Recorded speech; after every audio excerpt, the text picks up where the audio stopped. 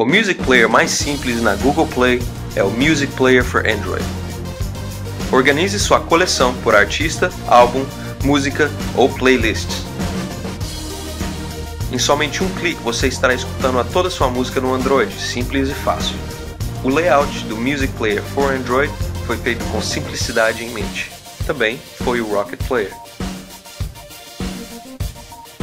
O display é simples, com a opção de escutar a toda sua música com um clique.